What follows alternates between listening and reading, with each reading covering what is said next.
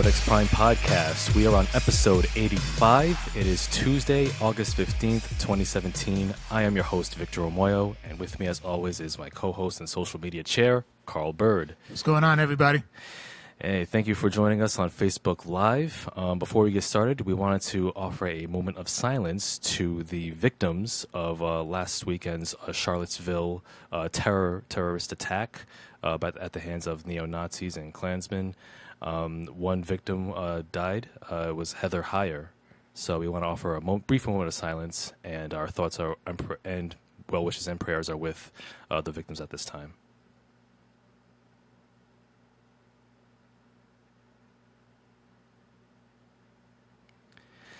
All right, and uh, yes, once again, thank you for tuning in. Uh, today we got a bunch of bunch of cool stuff to talk about, as per usual. We're going to be getting getting into some fan theories, fan theories from some uh, from some of um, some movies, television shows, comics. You know, all nerd culture goodness and magic, as per usual. Of course. Yeah. What else would we talk about?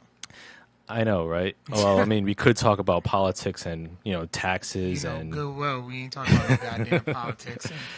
yeah, but um, but yeah, I know this is a topic that I know you've wanted to touch on for like the better part of a year.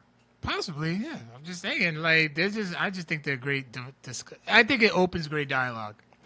I mean, yeah, I mean, I have my my own misgivings or rather criticisms of fa- fan theories. Just fan, You're shut down about it. That's why it took so long just to talk about it. Yeah, pretty much. Yeah. I mean, I mean, that, I mean, Just call it what it is. Well, well, you don't. Well, here's the thing. You you don't have to lay that all on my feet. I mean, it's not. I'm not the sole reason why we haven't touched on fan theories. I mean, we've had you know more interesting topics to touch on. Just so happens that way. There were a couple of episodes we had no main dis- main discussion. Y'all just didn't want to do it. I mean, well, I mean, you don't. Y'all hated strong. I mean, don't blame me. You can blame uh, our former co-host Harrison Maurice for that. You part of that too. You're just trying to throw me under the bus for for for no reason. I see you. That's what I do. Yeah, whatever, man. but anyway, uh, with all that said, uh, Carl, what have you been up to this past week? Okay, of course, of course, you know nothing much as always. Uh, it's been pretty. I've been pretty low key for a while now. Um, been working on the uh, on the Codex mixtape. I'm hoping to get that done at least by Rhode Island Comic Con. So Okay. just have that ready for you guys. Um, so this past Friday, it marked the 44 years of hip hop. So um, Google went ahead and celebrated this. I probably I should have told you. I should have told you about this, but I just didn't. So um, Yeah. if you went onto Google's Google's homepage this weekend, they had a special. They had the Google logo done up in hip hop graffiti art, Yep. and then you actually press play on it on one of the O's that was shaped as a uh, vinyl record, and then all of a sudden a short video featuring Fab Five Freddy.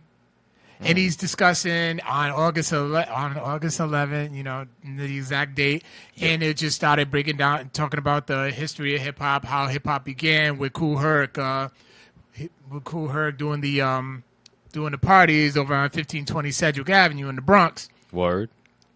So um yeah, he was just telling he was telling the story and then how he would take the break, which was the instrumental part of the um, of a record, and mm-hmm. he would play the same record on two turntables. Yep. So then and that would extend it, so that would give the breakers a chance to dance, hence the title, hence the name breakdancing. Mm-hmm. It'll give the MCs a chance to, you know, start rapping over it. Yep. And then next thing you know, hip hop was born. Oh, there it is. So then after the video, it kind of went into like this little like DJ. It's like a, I guess you want to. It's not an app, but it was like a game where it would play like various um breaks of different records, and you was able to mix and scratch Oh, wow. and stuff. So I mean, me being a DJ, I was having a effing ball. Mm, that's pretty dope. Oh yeah, it had like you know, the Big B by Billy Squier, Ashley's Roach clip, um, Stay with Me featuring you know, Stay with Me by Debar- DeBarge, which was um sampled by uh, Biggie's One More Chance. Um, Between the Sheets, sampled by Biggie for Big Poppa. Yep. Um, More Bounce to the Islands by Zapp. Like, it, and it, it was just fun. I wish they still had it up because I would have like demonstrated it. It would have been like a nice little code extra, and I would have just demonstrated. It. It was that fun. Wow, that's what's up, man. That's fresh. It was. Yeah. It was like I remember. Uh, shout out to Justin Case. He said, "Listen, if you put, if you played with this today, you had a good day. Wow, man. See, I wish I knew about that, man. Yeah, you can still catch the video. Somebody made somebody caught the video on YouTube. Oh, shout outs to Wild Man Congo on by the way, Hey, how's it going, who man? says my t- my top five favorite rappers: Dylon, Dylon, Dylon, Dylon, and Dylon. because I spit hot fire. Oh, you know, actually, uh, Dave Chappelle actually met Dylon recently. really? Yeah, he actually met him in person. I saw that on uh, on the interwebs. Yeah, he did like a brief like uh, video clip, you know, introducing him. You're gonna have to like send that to me. Yeah, I, I, I will. I'll, I'll pull it up somewhere. All right. So yeah, I got I got caught up doing that this weekend, and then also um, I got on I got onto a new app uh, which is called Greo. Hmm, okay. Okay, Greo app. It's a uh, video only social app to have, basically you can have real conversations about culture and um, current events. Um, it was created by three black black um, Stanford graduates: uh, Elizabeth Davis, Trey Kirkman, and Brandon Hill. Um, unfortunately, it's uh, iOS only as of right now. Sorry, Mr. Android user. Typical Android discrimination. Want shit first? Go to iPhone. Man, iPhone can kiss my ass. Why'd you get one? And you'd be like, well, I retract my statements of iPhone. Listen, man, yo, I Androids have bigger screens, much more user friendly, and you know, This is very user friendly, and there are bigger iPhones. This is the seven. You can get the seven and plus the seven plus, and it's much bigger. y'all ain't messing with the with the with the Android Samsung Galaxy S5. Y'all ain't messing with that. Or the S6 or the S7. You are oh, you're due for like eight upgrades by now. I'm good, man. I got the latest uh IO I got the latest uh, Uh, operating uh, what? I mean, I mean that's I, got was- the latest what? I got the latest upgrade, the latest software upgrade from Okay, my I do thing. too. My operating system upgrade, I mean. I do too. That's cool. I, Your screen is still smaller though. who cares? How and how can a, how can a phone not have a back button on the on the uh, actual bezel, man? Come on now. Yeah, it's, it's on the screen. Boom, it just went back. See, that's, that's not as intuitive though. Yeah, it is. Yeah, Nah, it is. You're just closed-minded again I'm not closed minded. Listen, Androids are the shit. in your ways. Whatever. See, man. even my, even even Congo says iOS, iOS, iOS. Nah, Android all day, son. Why do people like rep cell phones like they're fucking gangs? I, that's something I never understood. Even back in the day when people would just be like, "Yo, I got net." Well, if you had a Nextel, you was the shit. Oh yeah, the I chirp thought, I, man, my credit got approved, and I thought I was balling. Oh man, back in the day, man, like early 2000s, so that chirp chirp, man. Oh man, I thought I was the shit. Yeah. And then you know, people be like, "Yo, I'm Nextel." Man, I got T-Mobile. You know, so I'm like, I got Sprint. You know, Sprint bought out Nextel, but Yeah. like, I don't know. It's just something I never understood. And now today is just iPhone, son. I'm Team Android. What up? Yeah, phone check, homie. I hated sidekicks back in the day. I never had one. Me, me too. Yeah, Sidekicks was a pretty had a pretty decent run. It did. Yeah, It did. I can't lie. But yeah. So um, I'm gonna be getting on. So I got onto the uh, Greo app. By the way, that's what we was on. yeah. And um, so I think like I'm just gonna have discussions. oh, what's the Greo Yeah, app? Yeah. Huh? What's the Greo app? I Uh, literally just explain that to you. oh, so yeah. I mean, So like you can like post a question. Mm-hmm. It's all it's all video, so it's catfish free. okay. and you can just say, "Hey, what do you guys think about this episode, this week's episode of Game of Thrones?" Mm-hmm. And people can join in in discussion, and they actually, and you can have like back and forth conversations with many people Okay. regarding that one, regarding your one post. Okay. So I got into I got into it. It was from um, a comedian, uh, comedian, a Christian comedian named Kevin on stage, who was actually hilarious. Oh, he is He- actually. Yeah. Really? Yeah, I, I know. I know a few about about his videos. Yeah. Mr. Atheist likes Kevin on stage. I'm not an atheist. I'm agnostic. Same difference. No, it's not. I mean, well, okay, maybe it is, but but yeah, I, I know I know about his videos. Yeah. Yeah, so then he posted up uh, what was the what was the best um '90s R&B song. Mm-hmm. I said "Poison" by Belle DeVoe. Well, that's actually the '80s, though, isn't it? No, Was it 1990? yeah, Wow, I, I keep thinking it was like the late '80s, like '88, '89. No, no. Okay. It was '90. It was '90, possibly '92. Nah, it was definitely '90 because I know it was on the guy's first album. Bell Biv DeVoe sung "Poison," not Guy. No, wasn't wasn't wasn't Poison on Guy's album? No, No, I'm thinking about another one. Um, you're thinking "I Like." there it is. Yeah, That was '80s. and Merry Go Round. Yeah, yeah, Yeah. you're right. You're right. So, I'm Puerto Rican. Is that the same? And way too many bomb R&B songs in the '90s. Of course, Oh yeah, I mean, the '90s was just an excellent time. I mean, K-Ci and JoJo, remember them? Jodeci. Jodeci. They're Yep. still Jodeci to me. Okay. Yeah. Yeah. So that's all. The, that's pretty much all I've been up to, other than what's going to be uh, the main topic. The hell you been up to?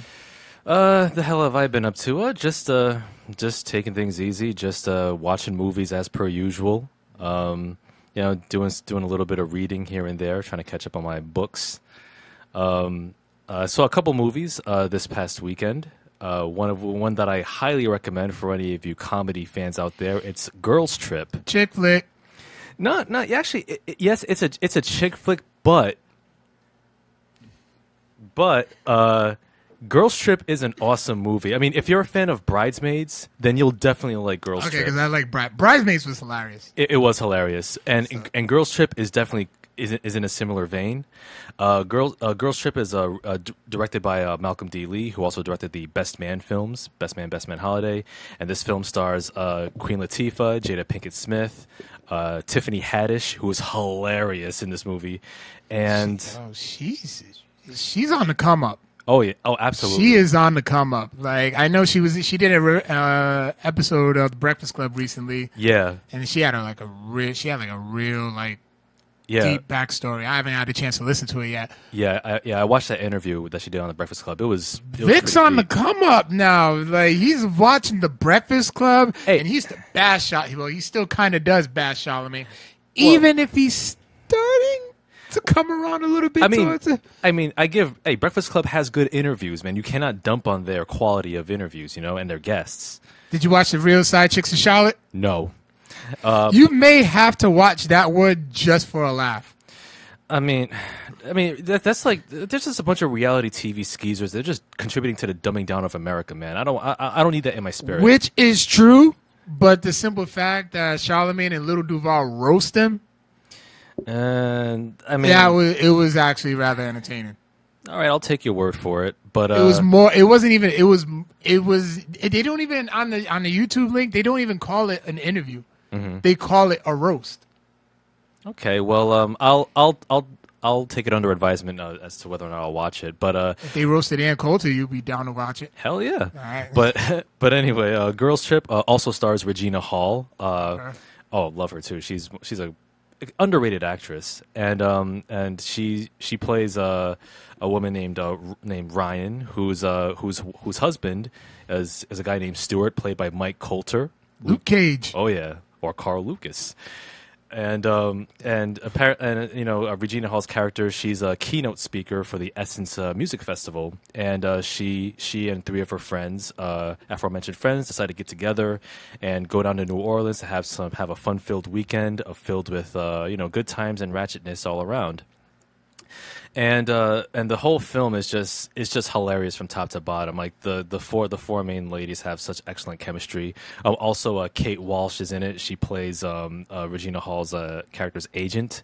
Uh, Kate Walsh. She's also in Private Practice and Grey's Anatomy. Okay. Um, and she's like. uh, She she has she has some hilarious uh, zingers here and there too. Um, as I mentioned before, Tiffany Haddish is like the breakout star of this film because like man, every scene she just killed it. She was just straight up unbridled id id just straight raw like she just kept it she she didn't keep it 100 she kept it 200 like throughout all of her scenes like like there were scenes where she's like uh there was one scene where she was threatening to to like like she was threatening some dude, uh, which I won't, I won't, I don't want to give any spoilers, but man, some of the shit that she says and she gets away with, man, it's just like, damn, you don't want to be on her bad side or even mildly okay side. But I'll check it out on a date or something. Yeah, it, it's it's worth it. Like like it, like the writing the writing is good. Um, like plenty of uh plenty of like nice dialogue and zingers here and there. Um, the the the pacing is also pretty good. Even though it's it's a two hour comedy, there's not a slow moment in it. And also, uh, Jada Pinkett is hilarious. She plays like a uh, a mother of single mom of two kids, so she's more Oh, of like so she's like that mom Yeah. type character. Yeah, she's like very matronly, and she dresses like a mom, and then she's like trying to mother her, the other the other uh, three in the group. Um, also, Queen Latifah, she plays a gossip columnist who's trying to get a scoop on on uh, Regina Hall's character, so that kind of breeds some conflict throughout the film. Uh, yeah, like yeah, this So this it's kind of like the Best Man Holiday because Taye Diggs tried to get a book, tried to get some stuff out of uh, Morris Chestnut, Yeah. just so he can get a book out of him because his publisher wanted that. Yeah. hmm Yep, yep, kind of like that. Yeah. So kind of that element is kind of shared between those two films. But yeah, man, Girls Trip, I just had a blast, man. I was like laughing all the way throughout the film. I will definitely add it to my collection. Um, I which reminds me, I should add Bridesmaids to my collection as well. I've been, you know, I've been forgetting to do that. You can get it used cheap. Yeah, oh yeah, I know. Um, but yeah, it's it's a it's a great it's a great comedy. Um, yes, it's a it could be a chick flick in the sense that it stars for for ladies, but it's a great Gosh, film. really said that. but but it's it's a great comedy. Check it out. Girls Trip is still in theaters. Watch it. Um, right. Yeah, and uh, and uh, besides that, I, I al- did hear good things about it, so I'm like, wow, yeah, man. By all means, Victor approves. yeah, I approve. Victor hates good shit. I don't hate good shit. okay, man. sorry, not good shit. He hates fun shit. I don't hate fun shit. I mean, a Girls Trip is a fun film. I he, mean, he's starting to come around. The other guys, girls trip, Mm-hmm. Breakfast Club interviews. I mean, eh, listen, man. I mean, I'm not I'm not all dour. You and start, you start, you start um, rocking throwbacks, and it's a wrap. throwbacks. Oh, come on, is this 2004? Come on now. Hey, that's my favorite hit. That was my favorite fashion trend. Throwbacks, really? Loved them. I mean, throwbacks were dumb expensive too back in the day, Yeah, they man. were. Yeah, They sure were. yeah. But I uh, had no car, but yeah, I was wa- I was a fresh ass walk. I'll tell you. mhm, I bet you were. But uh, but yeah. Besides that, I also saw another. Big jerseys too. yeah, they were Those joints was huge. they were mad oversized though. It was like oh yeah. Oh yeah, I had a Magic Johnson. I went past my knees. Wow, that's that's like maternity maternity wear, It man. really was. It really was. This girl I was dating at the time, she put it on, and Jesus Christ. well, you certainly like them big. But the other film that I watched uh, was.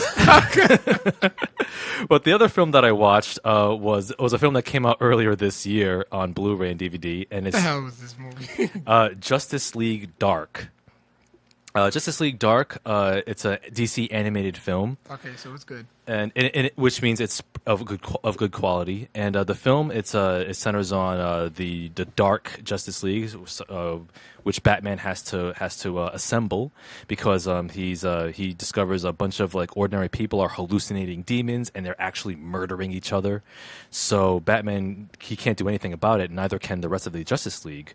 So he decides, okay, let me assemble people who people who specialize in the dark arts and the occult. So that's when he, he gets the uh, assistance of John Constantine, uh, Zatanna, um, Deadman, otherwise known as Boston, uh, Etrigan, uh, John Blood, uh, and uh, Swamp Thing also makes a appearance as well.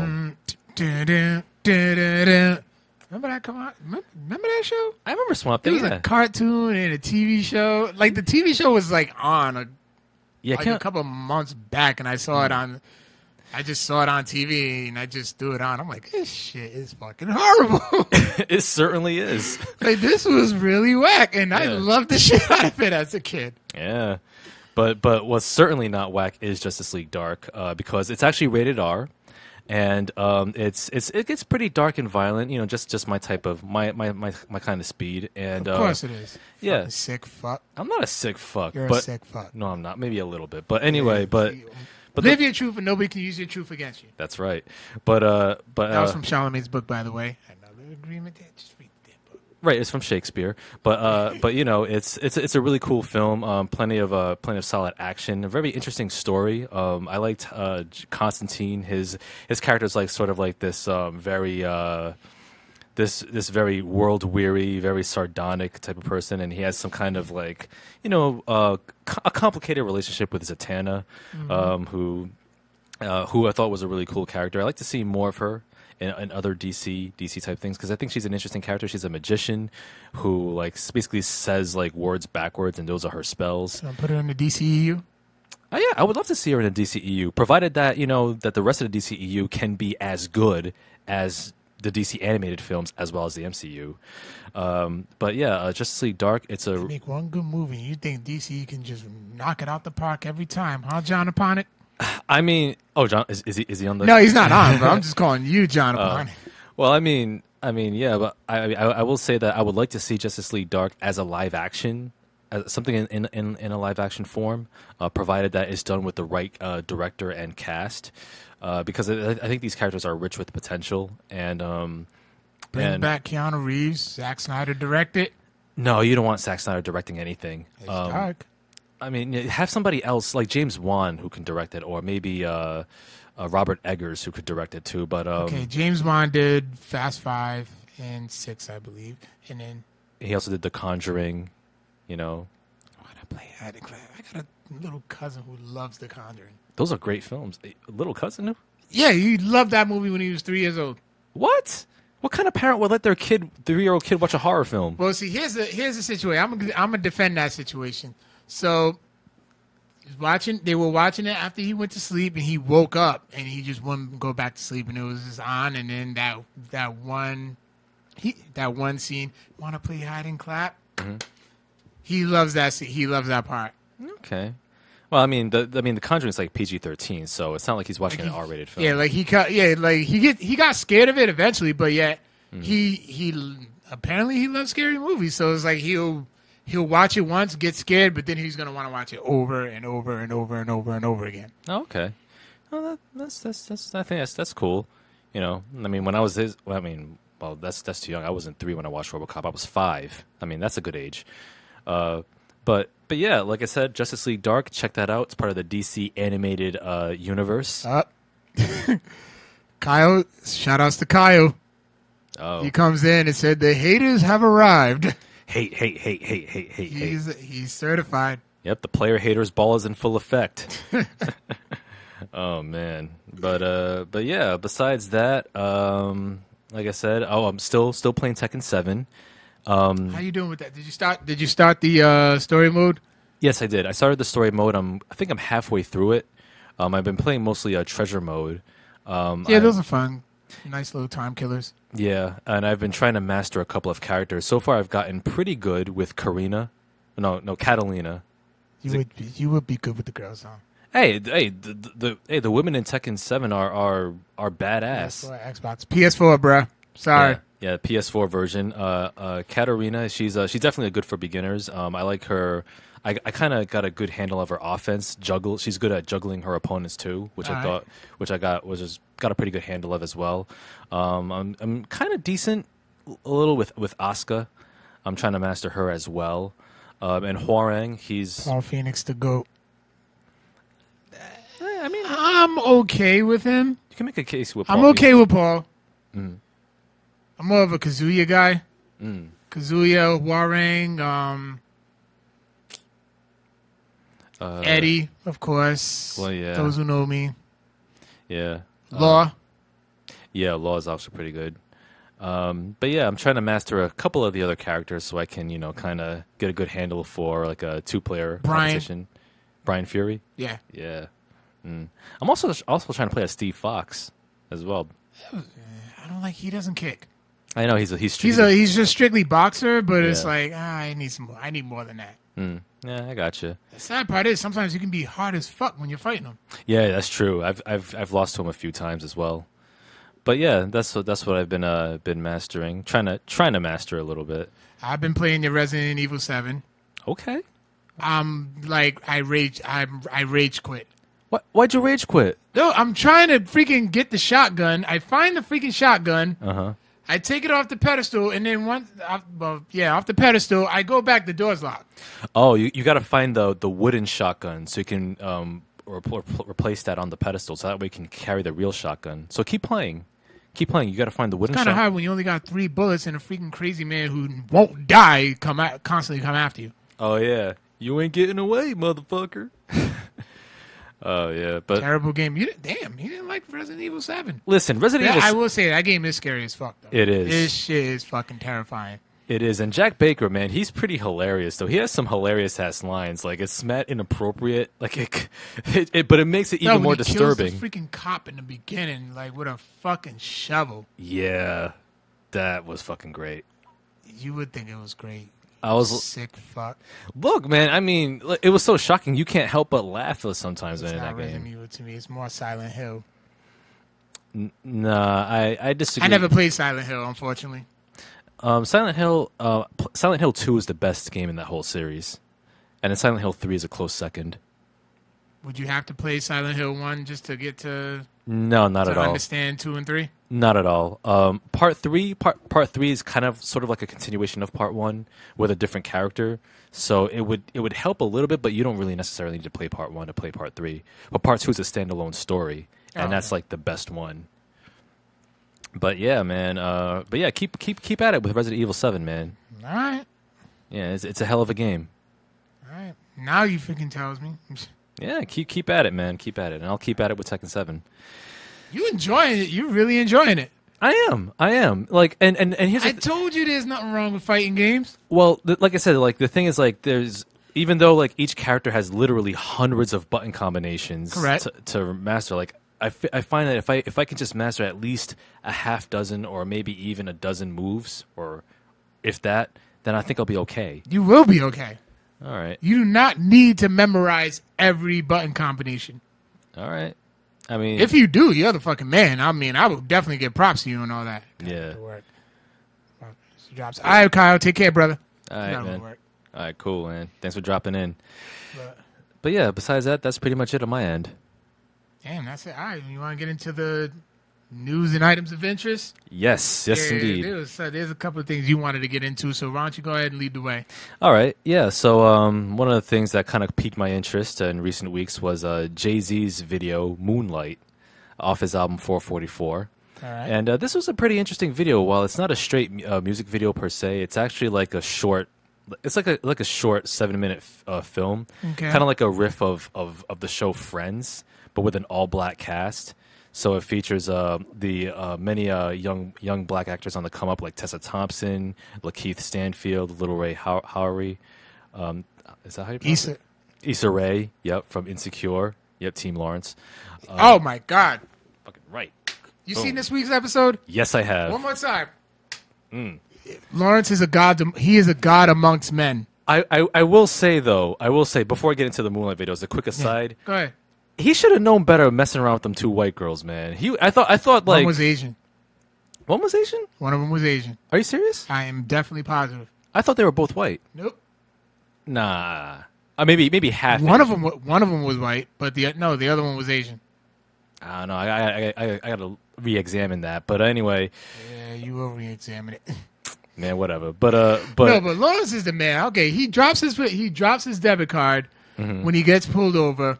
Goes into the liquor store, buys like forty five dollars worth of liquor, Mm-hmm. and then the girls pay for him. Then they end up, then he ends up going back to their house and having a threesome. I mean, uh, well, but, he, but You, you can't. Lawrence is the fucking man. Well, I mean, Lawrence is going through his hoe phase, right? Which is respectable, but but at the same time, man, like I, I was kind of I, was kind of fearing for him because it, it, it kind of felt like. happened to you, you would have did the same thing. Listen, I mean, it- They it- paid for you because he lost his guy. He he's thinking he lost his card, and they paid for him. He's like, "Yeah, I can get it. Just hold on. You know, you can just put this to the side. I can get." Nope. They took care of it, invited him back to his house, and then next thing you know, like it was a little it bit, was on. but it kind of felt like a get out situation because I, I was kind of I was kind of getting not I was. I was a little scared for him because I was like, what if he's in an all, in an all white neighborhood and what if they yell rape and then all of a sudden his ass is in the clink? It happens. I'm just So saying. you thought way too much into that one. I don't know, man. Hey, hey, Them chicks started doing coke and everything after that. Well, it- that's even that makes it even worse though because if you're on if you're if you're on coke and shit, like you you can spaz out. Ain't no telling what you can do. You seen Scarface, right? I did. Yeah, there you go. Lawrence But is the man. I mean, Lawrence is the man. I will say though, it's, it's it, it, I mean, the, the, but the way those two white girls kind of shafted him, One white girl, half a. The other one was Asian. right? When the two girls shafted him, though, right? Yeah. It kind of it was a little bit of karmic justice because he did break Tasha's heart. He really did. Don't. I don't think Tasha deserved that. Okay, she did it, but still, Lawrence is the man. That's all I can really say. Yeah, yeah, yeah, yeah, yeah. You, no, no, no. If it's listen, if you was in that same predicament, you would you would done the same thing. So Jay Z's Moonlight video was actually pretty interesting, and um, like I said, you had other other actors on there, like Hannibal Buress made an appearance. Yeah. um, uh, Issa Rae. And what, what was interesting about the video was that it was actually um, like it was, it was basically the whole conceit was like these these these all black these black actors are riffing on a white all white show, and they're doing it in the exact same style as Friends. And then there was like one of the, I think the main the main actor I forget his name. Uh, he- Jerrod Carmichael. Yep, thank you, Jerrod Carmichael. He uh, after after the director yells cut, he takes a break. He he goes to goes up to Hannibal Buress and asks him, "Hey, what do you think about what we're doing so far?" And then Hannibal Buress just keeps it totally 100. It's like, yeah, honestly, This shit is whack. this shit is whack. It's it's trash, man. What is this like an all black version of Friends? What, what's next? An all black Full House? It's like just like kind of just like running him down for like you know. uh Doing it, but then like Jerrod Carmichael's character was like, well, but but you know, yeah, yeah, I know it's an all black version of Friends, but we're just trying to be subversive. You know, we're trying to turn it on its ear. And then Hannibal Buress was like, nah, man, nah, I'm not feeling it, not feeling it at all. And then at the end, uh, he kind of, you know, Issa Rae kind of leads him away from the set, and he walks away, and he kind of sits down in the middle of like the park in a moment of self reflection. And I thought what was interesting about the video was that like it kind of like it's like a commentary on like represent on black representation in media, especially nowadays, where where many black artists, especially Issa Rae, a, a prime example, where where thanks to social media and YouTube and all this, we're at a, we're at a position we're at a at like a precipice creatively where we can where we as as black artists can create our own shows more than ever. You know, we don't have to strictly rely on like the the studio system or the sitcom system. So we don't have to have like an all black version of Friends or an all black version of some popular white show. We can create our own stuff from the ground up and not have to, you know, be basically be a carbon copy like like like they would in the 90s and also what was interesting too was that the reason why they chose friends uh, for for this video moonlight was because apparently um, living single you know that show was Living single. yeah i mean that that show which was an awesome sitcom back in the day still is um, apparently um, uh, Warren Littlefield, who was an NBC producer, was asked when, when, when Living Single first came on the air. He was asked by Warren Littlefield was asked by other producers from NBC. It's like if you can take any show and, and make it your own, what would you do? What would you what show would you take? And Warren Littlefield said Living Single. That's a show I would take. And Warren Littlefield uh, actually took that idea along and along with the other co-creators and created Friends. Two like I think a couple years after Living Single debuted. So Really? yeah, so Friends is essentially inspired by Living Single, and mind you, Living Single doesn't nearly get enough credit for that. And and I th- and I thought that was pretty striking because it's like because a lot of people you know love Friends as like as an all original sitcom, but an, un, an, un, understated fact is that it was actually inspired in part by Living Single, like in terms of its concept, just an all white cast instead of an all black one. You know, I twenty. never knew that, and I never thought about that. I we watched the we watched the video before before we aired, Mm-hmm. and I'm just I mean I I wasn't really thinking too much of it. Like you was really adamant about watching it, about me watching it. So I'm like, Yeah. all right, what's the you know what's the deal? I'm uh, I was just entertained by it, so I didn't really think about. I did I, did not know what to think of it. I was just Mm. I just thought it was entertaining Yeah, until you. I was like, you know what? You say what you have to say about it. yeah. So yeah, it's an interesting video. So check it Oh, out. then what about the end too, where they played the uh, voiceover for the from the Oscars this year Oh yeah, this year. when yeah, Moonlight's victory got cheated? Yeah, like um, like uh, they at the end of the video they played uh, the audio clip of um, La La Land being mistakenly announced as the Best Picture winner this year. Right. And um, and that kind of is a callback to Jay Z's song where in the chorus it says like we're stuck in La La Land. Even when we win, we gon' lose. And that was a re- that was a direct reference to when even though Moonlight is the real Best Picture winner this year at the Oscars, the fact that La La uh, Land got like the light. They got the grand Yeah. like the grand, yeah, you know, yeah, you know, Yeah, like they- like that- they wait. It's like the big, the good surprise was wasted on La La Land. yeah. I was watch, I watched Big Daddy the other day while I was at work uh, with Adam Sandler. ew. It's But- a, it is a, it's a fun comedy. Damn. But um, but yeah, like you- like you're right. Like it took the shine off uh, Moonlight's win. Right. It would, and and and it- and, it, and they're both great films, but Moonlight's obviously the superior of the two. And have you seen Moonlight yet? I still have, you know, I forgot about Moonlight. Do you have Amazon Prime? No. Ah, man. It's, well, I will say this. So, for those of you who do have Amazon Prime, Moonlight is available to watch on Amazon for free. And it is available on Blu ray and DVD. So, please watch that film. It is a phenomenal movie. My favorite film of 2016, and deservedly the Best Picture Oscar winner. I thought it was the Neon Demon. no, it was Neon Demon was one of my favorites, but Moonlight was my number one. Oh, okay. Yeah. So yeah, check that out. Um, also, uh, Game of Thrones, man, Eastwatch. What you th- what you think about that episode? I like the I like the episode. I mean, there wasn't really any action, but it was still more like story of what what the um what the show needed. You kind of needed to like chill out, especially after freaking last week's episode. Oh yeah, burn baby, burn. Yeah. So um, it was actually still fire in this one. There was some killing. Yeah, Yeah. but and also like th- like even though it didn't have a lot of action, it, there were a lot of pretty heavy like story revelations throughout and moments. Oh yeah. Like the one that gave me chills was when Jon Snow, Snow. touched the, The dragon. dragon. And then Daenerys is like, "What's going on?" So it's like the dragon knows, it's like, "Hey, what up, man? You're a Targaryen too." Yeah. Yep. Yep. It smells that Targaryen blood. Yeah, man. So uh, I, I think I think we're getting Yep. you're getting closer. That revelation, I swear, that revelation is either gonna come. It's it's gonna ha- they're gonna realize it. and They're gonna say something like at the end of it, like right at the end, and then we're gonna have to wait a whole another year from it. Yeah, maybe we'll we'll definitely find out in uh, in season eight, which is the final season.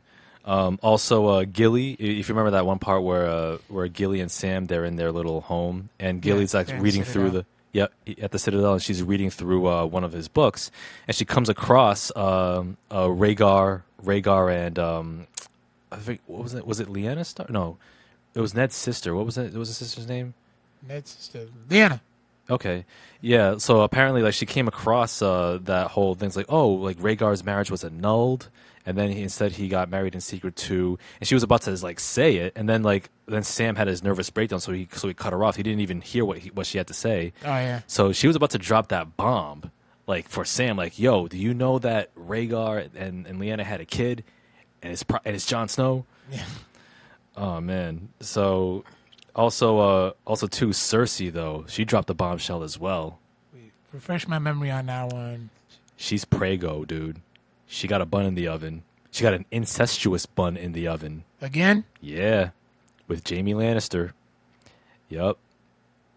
So and and and, ja- and and first of all, that that shit is fucking gross and repugnant. Two, Jaime and Jaime's rightfully says that yo, we cannot let anybody know because the public won't, the public won't like it. And, and Cersei's like, I'm the queen. I don't give a shit. Yo, she is feeling herself. Her and Daenerys, they are feeling themselves. Oh yeah, they they, they, They totally are are. feeling themselves, and even and, to, and Tyrion can like see it. mm-hmm. And he was like, "Yeah, how do you tell her to like chill the fuck out?" Yeah, and so He's like, eh, "I don't know." I mean, I will say to that, um, if you remember um, in an earlier episode of Game of Thrones, like I think it was like the third season when Cersei was a kid and she ran into the witch who who get, who told her her prophecy, how she was gonna have three kids and they're all gonna die, and um, and she would eventually become queen, but she will eventually meet her ruin from a from a rival queen or something like that. Apparently, maybe with this fourth kid in the oven, maybe I don't know where that's gonna lead, but Cersei's gonna die, so I mean, I hope so because she's a ma- massive c word. But uh, but but yeah, that that was interesting. Um, also, uh, uh, Jorah Mormont officially reunites with with Daenerys. still trying to get out the friend zone. I see, huh? Hey, man, uh, yeah, you can't. I mean, I, I don't think I If don't. Forrest Gump can make it out, he could too.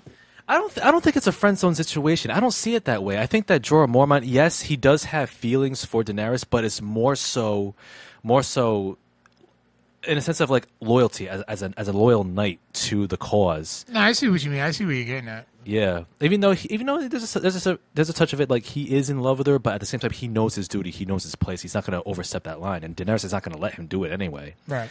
And then at the end, you had the Suicide Squad, man. Why you have to call them that? Why can't they be the Avengers? Uh, well, well, well, because they're on a suicide mission, but let's call them the Avengers. Yeah, Yeah. Suicide Don't Avengers. disrespect. Don't disrespect Game of Thrones like that. Well, that's true. I mean, I mean, okay, all right. I mean, you're right because Suicide Squad is trash. So yeah, they are the suicidal Avengers, and uh, they're they're they're on their quest to to get to get one of the uh, is it They like get ahead of the of one of the White Walkers. yeah, and bring it back to Cersei to prove that hey, these White Walkers These are real. motherfuckers exist. They, they are, these are real. Yeah, so all I can say is good luck with that. I really hope that uh that um that they all pull through. Oh, that episode's gonna be fire. Yeah, yeah, oh yeah, and and also um uh, Sir Davos, his um oh um not not his son, but it was Robert Baratheon's bastard son that he was looking Yeah. out for. Tell me he does not look like Christian Bale. He Oh shit. Yo. Kinda, yeah. because as soon as, as soon as he turned around, like in, in when he when he met him when Davos met him in the in the in the smithing area, he turned around. I'm like, holy, is that Christian Bale? Did they really cast him? And I'm, then I had to look at him. I'm like, yo, he's short. yeah, he he's short, but I'm like, damn, man, yo, if if if they if they if they try to like do another like Batman Batman film like with Christopher Nolan's continuity, they could really cast him in that role again as like a younger Bruce Wayne. Oh yeah. Yeah, because he look they look so much alike. But yeah, man, He's a beast with that hammer though. yo, But why didn't freaking Davos get his money back though from his dudes? I'm like, that's he just killed him. I'm like, yo, run them pockets and get your money back. they probably he probably was like, yo, we ain't got time. If these two guards found us, man, yo, we got to be out. Maybe or maybe he got him off screen. I don't know, but um, but yo, he yo, your your your boy can wield that hammer like no one's business though. That's what she said.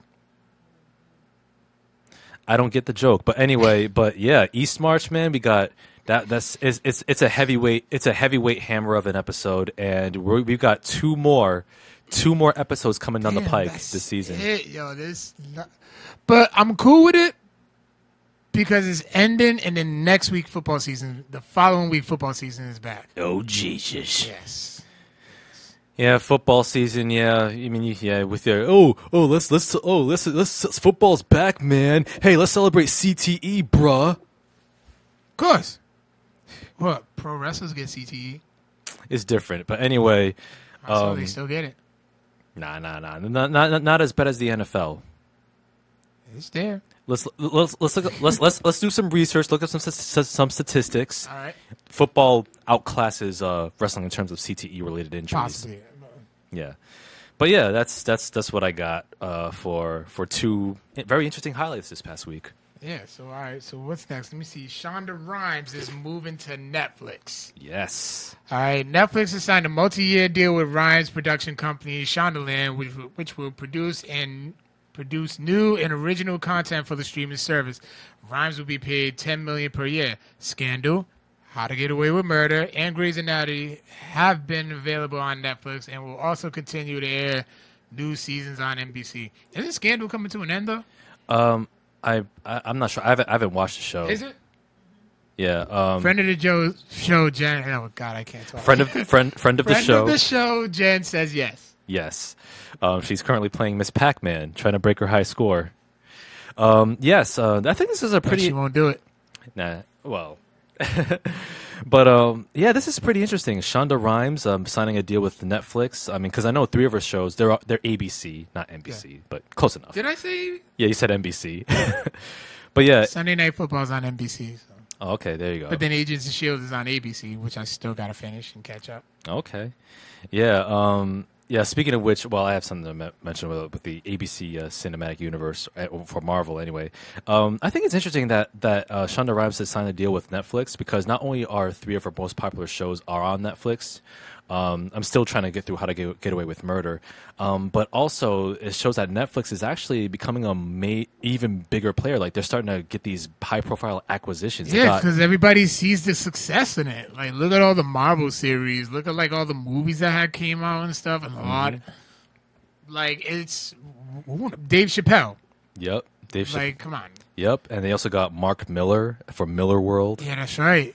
Yep. And they got Shonda Rhimes for Shondaland. Yo, so I think this is a definitely a, a, a revolution for some content creators or, or showrunners rather. Because streaming is streaming is it's it's the future. That's where it's going.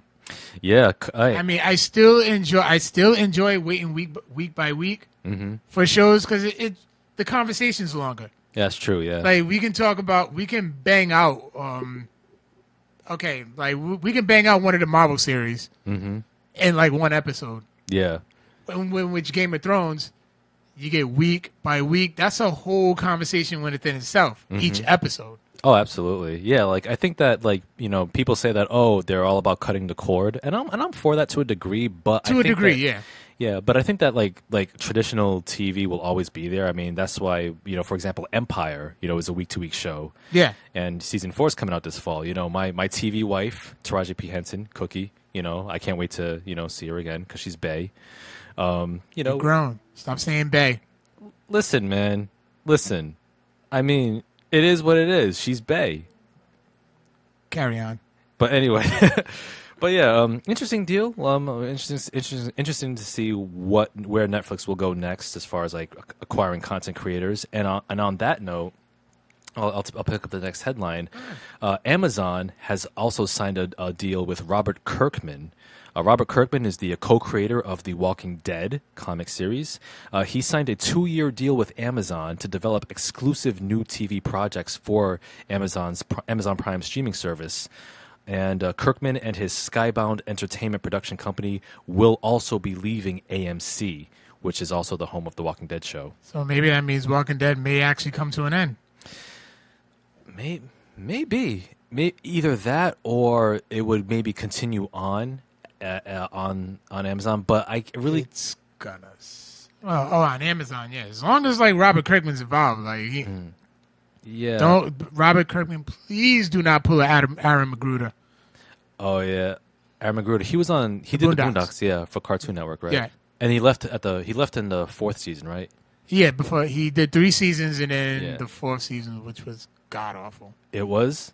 It was uh, there was literally one joke that I laughed at all throughout the whole season. Wow, I didn't know it was that bad. One joke, and they still had the original like cast and all that. But Oh, man. one joke Man. throughout the entire season that I thought was funny. Wow. Damn, I didn't know it was that bad for the fourth season. It sucked.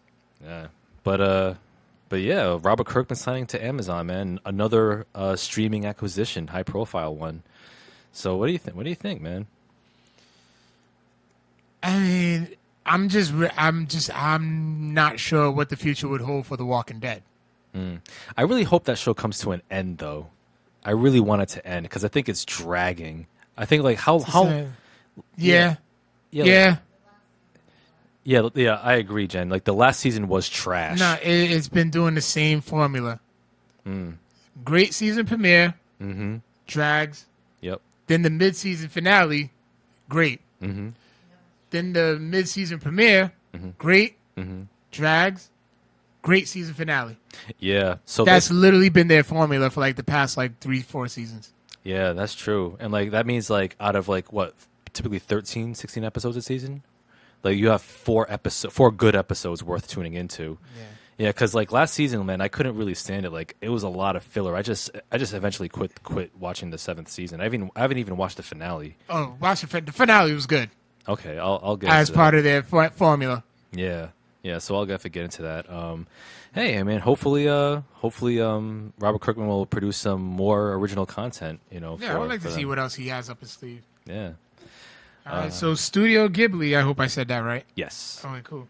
Studio Ghibli reopens for production of Hayao Miyazaki's new movie.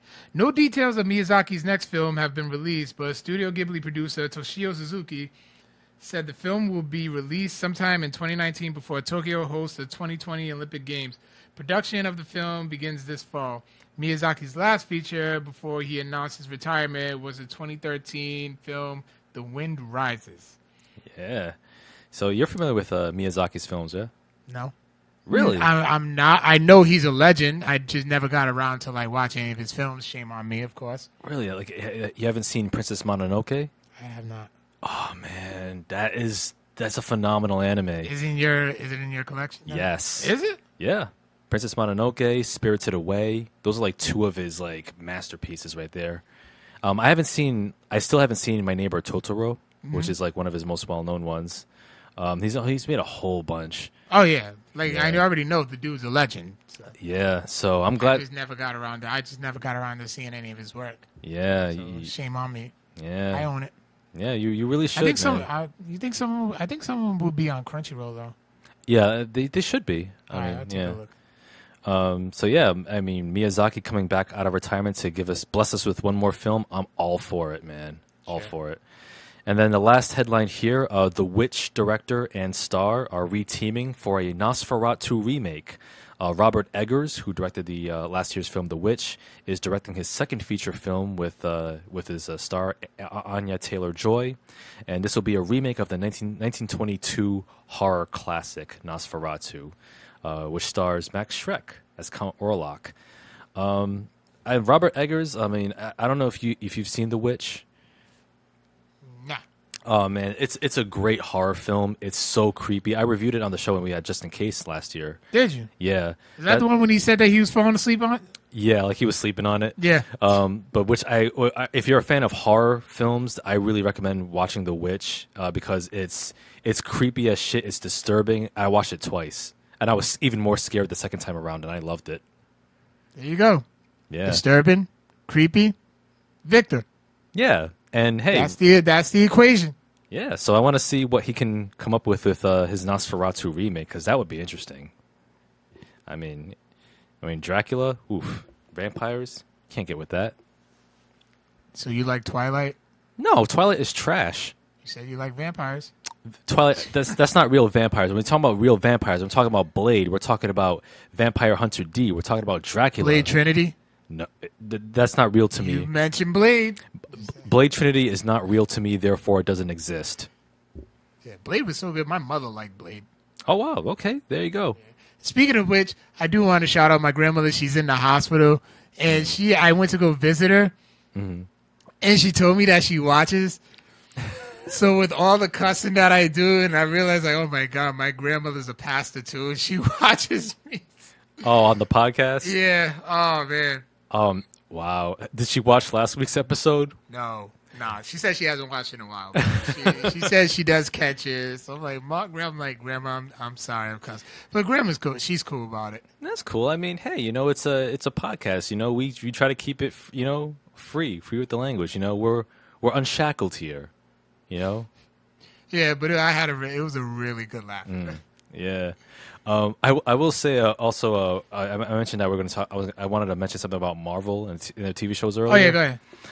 I sta- I started watching Iron Fist. Three episodes. Go ahead. Three episodes into Iron Fist, You said I was done. I was done. I that show is fucking whack, dude. yeah. Oh my god! I I, I don't. I, I mean, hey, bless you for for sticking through it. But man, I just I just went online. I looked up a, a, a comprehensive spoiler article which detailed every breakdown of all the twists and whatnot. That that's all I needed. That's all I needed because I was trying to watch Iron Fist in time for the Defenders this Friday. Correct. But Oh, I'm yeah. like, oh yeah. You see? Have you gone on Netflix and noticed that they have a countdown for the defenders? oh really? Yeah. Oh, As a matter of fact, shouts to um this girl Noelle that I met. She um she's gonna be tuning in soon. But yeah, I, we Mm-hmm. talk. I wore a Luke Cage T-shirt, and she was just freaking lost her mind. Told her about the podcast, and she was just so amped about it. So Mm. shout out, big shout outs to her. And we like we're holding up, com- we're holding up lines at Cumberland Farms, just talking about it. So, Oh wow, that's what's up. But yeah, man, Iron Fist trash, T- trash can. I, I know, I know it's not good. I know it's not good. I enjoyed it. You know, I hung around for it. Mm-hmm. You know, I was entertained by it, but I, I, I know the, I, I see the flaws. Yeah, flaws The flaws, absolutely. So yeah, that was that was my thing um, right there. So yeah, yeah. Let's uh, we got we got another uh topic, our main event here, talking about fan theories. Fan theories. So uh, why don't you uh take us on this journey, Carl? This long-awaited journey. Um, yeah, it's just uh, I don't even know where to start. I got like three really good ones, and then I came across one that was just freaking ridiculous. Um, You know, what? I'll start. With, I'll start with one. I'll start with my first one. Um, the Montreal Screwjob. That's really. I, There's a fan theory for the Montreal Screwjob. yes, Let's hear this. that the whole entire thing is a work. Hmm. All right. All right, so let's think, let's think back. At that time, you know, at the time, Bret Hart was leaving, leaving mm-hmm. WWE to go to WCW. WCW was kicking WWE's ass in the ratings. Yep. They were starting to turn around, but they still didn't really get that momentum just yet. Mm-hmm. So with Bret leaving, let's stage something to where I make myself look, you know, I do something bad to you and all that. There's this big blow up and everything. Mm-hmm. Everybody was all in on it. Yep. So let's use Bret. So Bret, we're gonna use you. This is I'm I'm Vince McMahon talking. We're mm-hmm. gonna use you to go into WCW, get some intel, mm-hmm. tell them and let us know how bad things are going, so we can move in like how I did in the '80s in the territories and start taking talent. Hmm. Because if you noticed, people started leaving.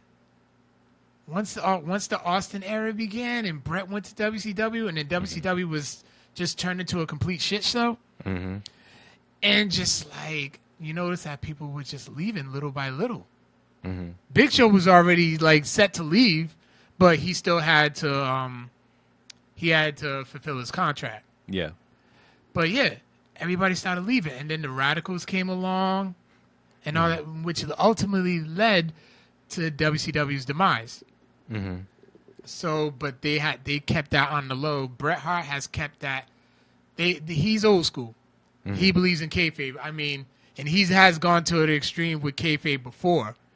When him and Owen went to, you know, they had the stage like there was problems in the family between them two. Like they mm-hmm. couldn't even be seen together. Hmm. So So Bret has remained professional. This whole thing, they all be remain professional. Hmm. so okay. So do you believe personally that it's a work? It would not surprise me. It, it could it could be. No. It could be. I I'd have to disagree strongly that Go it ahead. was a work. Um, I think the Montreal uh, the Montreal Screwjob was absolutely real um, because you gotta you got you have to look at the fact that Bret Hart was extremely bitter when he departed WC when WWF in, in November '97.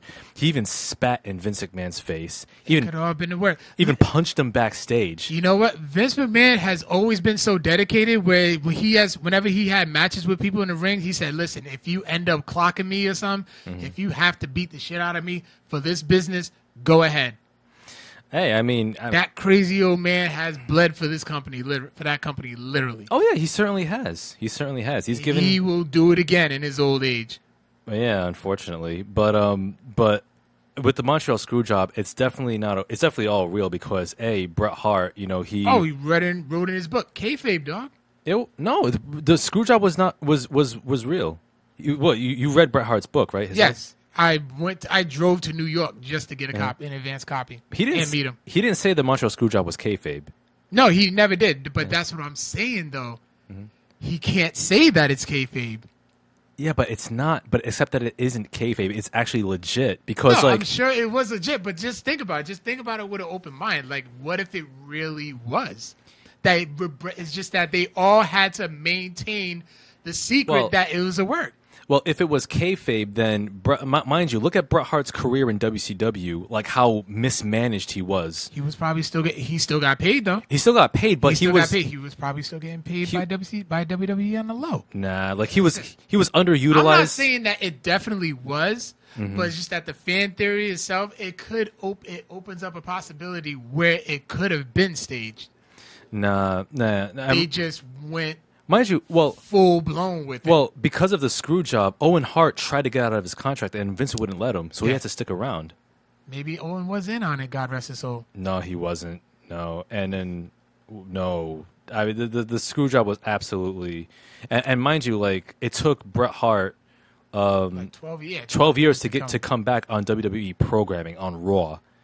Yeah, to go back on Raw. He did. He came back to the for the Hall of Fame sooner with that because he said when I went to go meet him, he said, "Listen, he, he always said that if I if they ever he said that night at Montreal, if I if they ever asked me to come back to do the Hall of Fame, I would do it. Mm-hmm. Yeah. I've And been that bitter.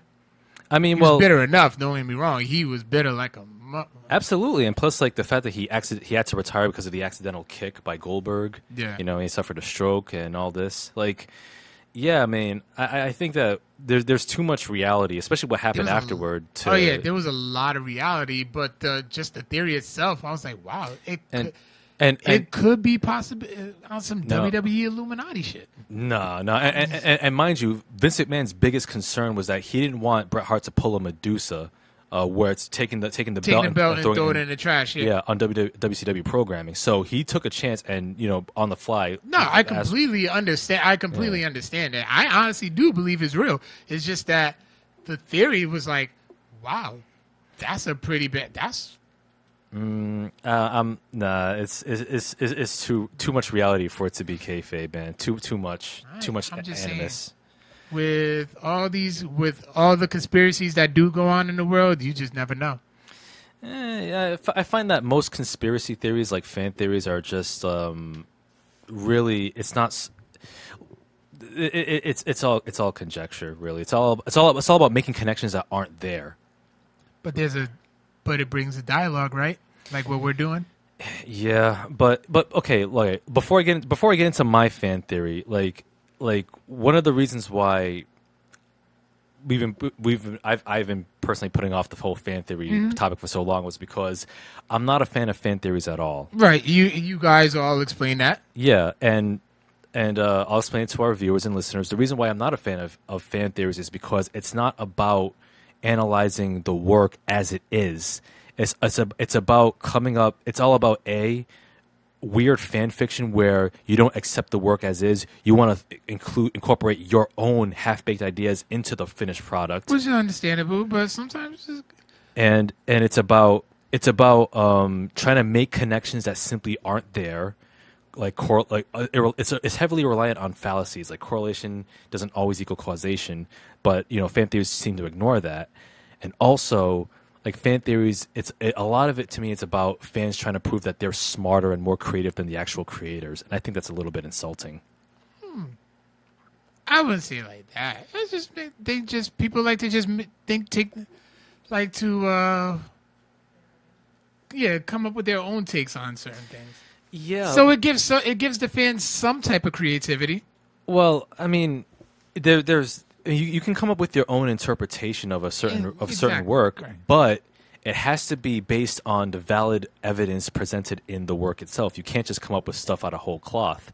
Like one of one, like one of the fan, one of the fan Correct. theories that I know you- some because I know you came across a lot of like ridiculous ones. Yeah, like one of the more ridiculous ones that I came across, which which on the surface sounds like it's plausible, but really I think it's it's a little too convoluted. It's basically um Jurassic World, uh, wh- where God damn it, I can't even join in on the combo with that one. well, well, Jurassic World. It's number one. It's boring as shit, so don't watch it.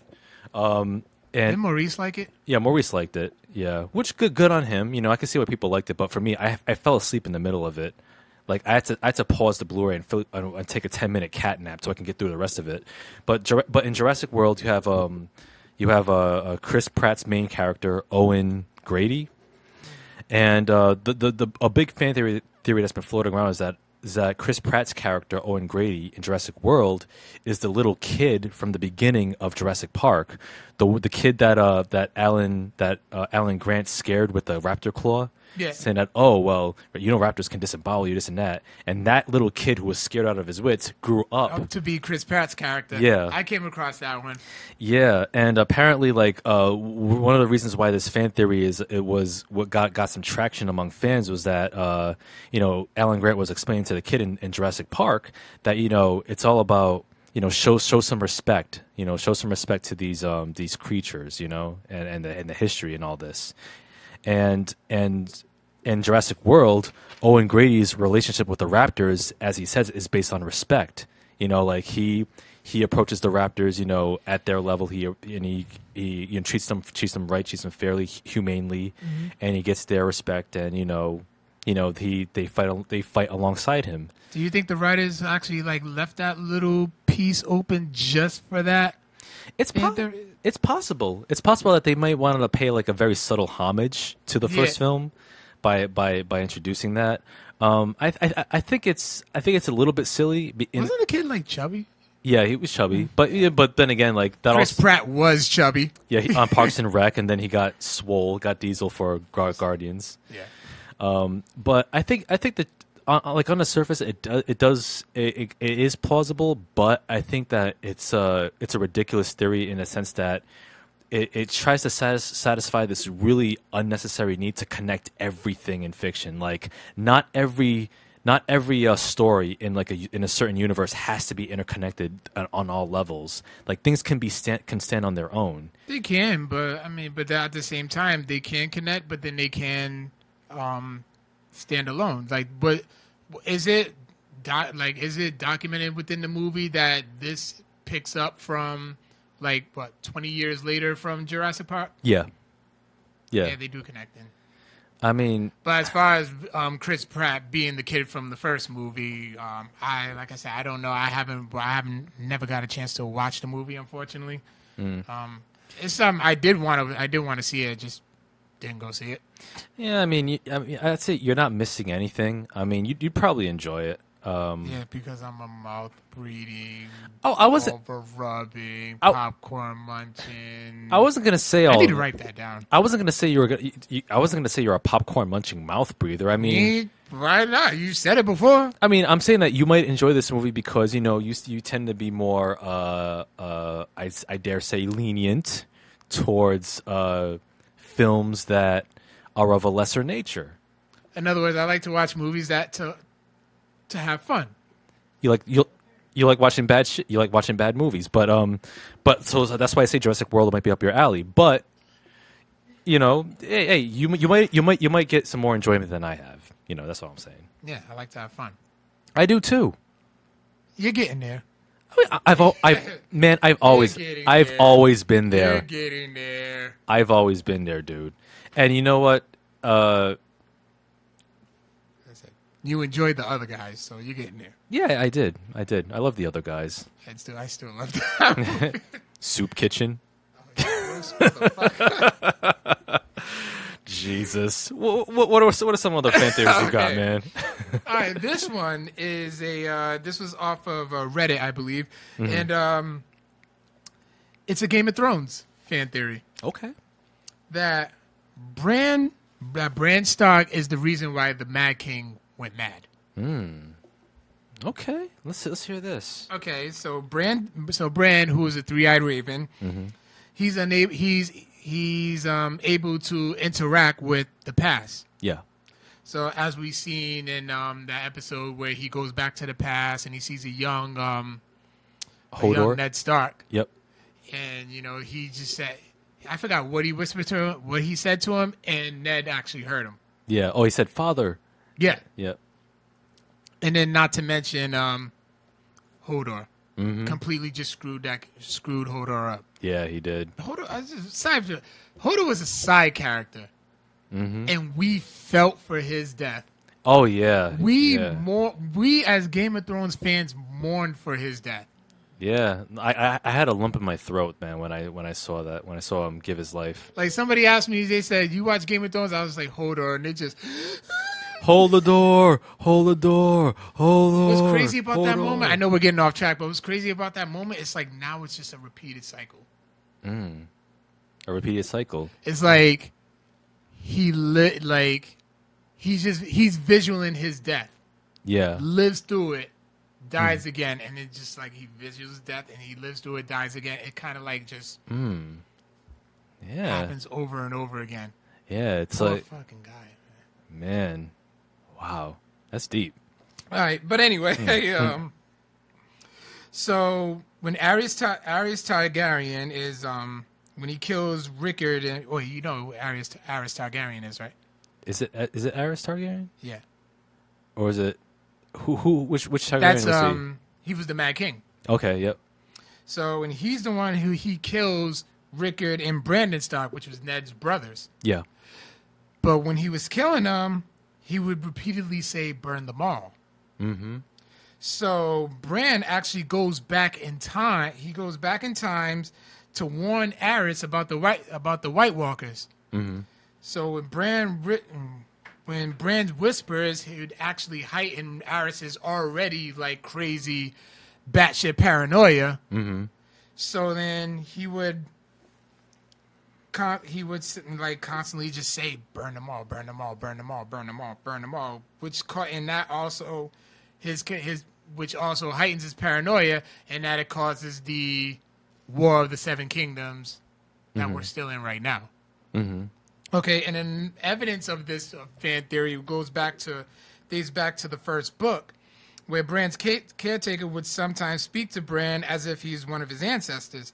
And the line, and then the line from the book says, "She had lived so long, enough. She had lived so long. Mother had told told him once that all the Brandon Starks had become one person in her head." Wow. Hmm. Okay, so and there's slightly evidence of that when in this past episode where Bran actually commands the Ravens mm-hmm. and they go see the um they see the what the army of the dead and the White Walkers walk forward. Yeah. And then he's like sending off warnings. Mm.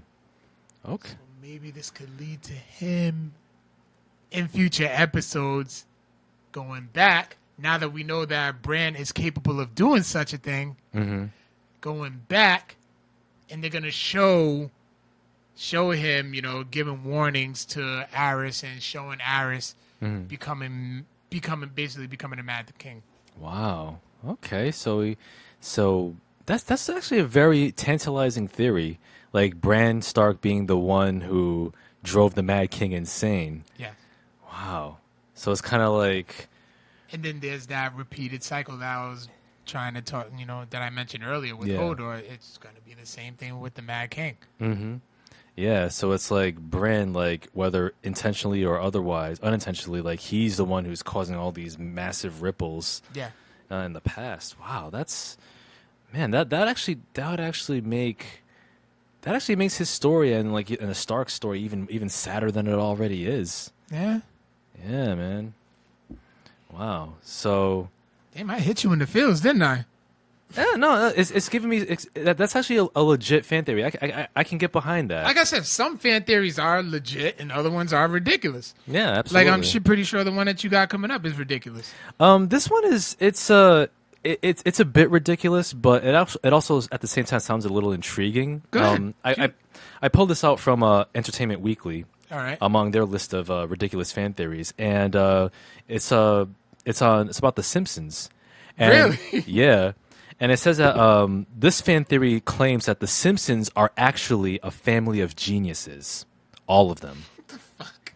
So I'm actually I'm actually gonna read this. Uh, this is an excerpt from uh, Entertainment Weekly, which is also which they also got the uh, original the- theory from Reddit, and um, it says uh, the theory puts forth that Lisa is the only member of the family who accepts her genius while the others purposefully quash their brilliance in order to live happy lives. So, like, the rest of the family chooses to be dumb because, you know, the smarter you are, the more miserable you, are, but ignorance is bliss. Mm-hmm. So, in that wise, it says that Marge was once an amazing student, but left her academic per- pursuits behind to become a homemaker. Correct. In regards to Homer, it was revealed that a crayon lodged in his brain which which which was what was suppressing his intelligence, and that was in I think it was season eleven episode called Homer, mm-hmm. and Homer.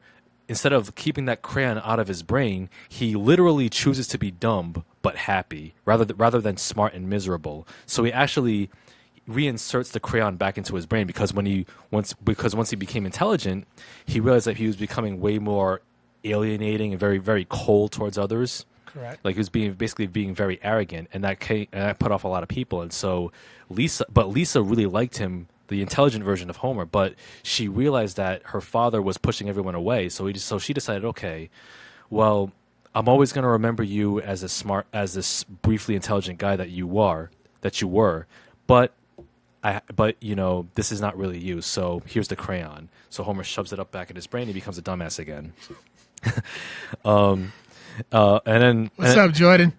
Hey, what up? And then finally, in, in another episode, we see Bart, who was once a gifted child, but then his grades began to decline. And this episode blamed it, on, and one of the episodes blamed it on a gene that makes the male Simpsons stupid. And but the freaking pot, the pot when they put the pots on their heads and then they. yeah, and they ram each other like freaking rams. um, and then uh, like Lisa starts to be afraid that oh my god, am I going through a process of dumbing? Because Lisa Lisa starts to fear that she's becoming stupid, but then she finds out that only only the males, Only the yeah, only the women. only the women only, yeah, only the women can turn out smart, but the men come out- Come out turn stupid? completely stupid. Yeah, yeah. I remember So- that episode. Yeah, so it said that the episode blamed it on a gene that makes the male Simpson stupid, but Homer's crayon incident actually disproves that. So it kind of contradicts that whole part of the, of the Simpsons gene. And then instead, Bart saw how happy his dad was in his life despite his lack of intelligence and decided to strive for happiness instead of genius. So Bart uses his brains to come up with elaborate pranks instead of schoolwork. So Bart chooses to become an underachiever. He chooses to become, you know, basically a slacker and a dumbass in, in class because he sees that ignorance is bliss. And then Lisa, she's the only, she's the most intelligent member of the family, but you know that you kind of see how, at times, how frustrated she can be, especially when dealing with Homer and dealing with other people, especially Bart, who can't really meet her on her level. So, that's I That's, that's a bit intriguing. Yeah, I mean, I mean uh, that that kind of it's it's intriguing, but it's also depressing at the same time. Eh, eh, Because- yeah, but I wouldn't. If they were all like that, then there yeah, wouldn't be no show. yeah, because it's like, would I mean, like, would any reasonable person choose to be unintelligent, choose to be not well read, and and be happy rather than be smart as hell, rather than maybe like intelligent, you're on it, you know. Yeah, yeah, uh, yeah. The more things you know, the more miserable you might be. Especially like, for example, if you if you're into if you have to pay attention to politics, yeah, you're miserable as hell. You know. Are you trying to flip this? Uh, are you trying to flip my logic on me? I, I'm not trying. I'm not trying to flip anything on you, man. I mean, I mean, I'm just, I'm just, you know, just spitballing, you know. But, but it, it, it's, it's, just, it's, it's, it's depressing because like, it, it, it shows that this theory kind of implies that to be truly happy, you, you, you cannot be intelligent. You can't because if you're intelligent, you question things all the time. You ask questions. You always try to go try to dig beneath the surface level. But if you're happy, then you know you you can the the the, hap- the happier you are, like the more prone you are to like say what to to not read books because oh who got time for reading books and shit. The more prone you are to watching reality TV as as your as your only diet of television and, and media, like the more the more the more ratchet forms of media Shots fired. the more ratchet forms of media that you're open to and and then if you come across any movie or TV show that you know tries to you know that that's unconventional and you know tries to make you ask questions then you're like oh man this shit is whack man how come it's not straightforward and all this and it's like. I am I mean I mean um, for once, the supervillain has agreed with us. He said, "Nicely said, Vic." thank you John You missed it earlier, John. He actually agreed with you in something too. uh I already forgot what it was, so you're gonna have to listen yeah. back. yeah, but but yeah, that but you know, I mean, The Simpsons is a, is a great show, and you, and, and, and you know, like uh, let's get. They're in what 25 seasons now. Oh no, they're like twenty eight or 29th. They really? Yeah, they're almost approaching their thirtieth season, almost in a couple years. But they can do it too. The Simpsons is still legitimately funny. it is. I still catch an episode. I don't catch it as much as I used to. They remind me of um, um, Married with Children. Yeah, ma- yeah. Oh yeah, Married with Children. Married yeah, with Children's classic. yeah. Al Bundy, man. Yo, Katey Sagal, Peggy Bundy, fine. I was a Christina Applegate guy. Yeah, Christina Applegate. She she she's she's she's pre- she's pretty. She's pretty, but you know, Katey Sagal. She's she's my she's my heart. Told you I almost met her, right? Really? Yeah. When? Um, I was actually a because I had nothing. To, I, I literally had nothing to do that day, so I decided to be a um extra in the movie Bleed for this. Mm-hmm. And they shot some scenes at the Civic Center, and she was there, and I was, and she was like taking pictures with people, signing autographs, and then like, I was this like this close, and then she had to leave. Oh man. Oh, I was I was so mad. wow. That was Gemma. Mm. Oh, I mean, Sons, of, Sons of Anarchy. Yeah. Yeah. Yeah. Exactly. Yeah. I, I, I, I, I, gotta get back on that show. Oh, were you on that? Were you in the film Bleed for this? Can we see? Somewhere in the crowd. Oh. I haven't seen it. I haven't even seen it yet. Okay, so I'll I'll try to get my hands on like a Blu-ray and kind of like go frame by frame. Yeah, you would have to. It was. It was. I have to look up the fight. I have to look up the fight, but um, yeah. Okay. So yeah, that's that's uh, the the Simpsons uh, fan theory. okay. I, my last one is with uh, Titanic. Okay, let's hear this one. Jack never existed. What? No. Jack never existed. I caught this one off a day. I caught it off a Daily Mail, Mm-hmm. and a Reddit fan theory sa- says that Jack was merely a uh, figment of Rose's imagination, and she had a cap- she had a psychotic episode while on the ship, and Jack helped her deal with the misery of her life. Hmm. That she okay, so Rose Rose hated Cal.